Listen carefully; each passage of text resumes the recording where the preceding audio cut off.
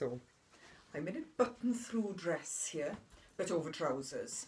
So those are Robell Bellas with the turn-up, 7 eighths. And I've got um, a wedge on there just to give me a bit of height. And I think this outfit is elegant, whatever. So let's get rid of the plain scarf.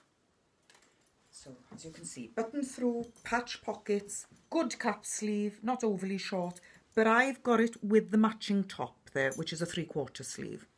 These two items are by Two Danes. This is a very silky jersey with a very nice sort of overlapped v-neck there. Boxy, not a neat fit, boxy. So, deep mellow yellow colour, very smart and would obviously work with navy, black, white,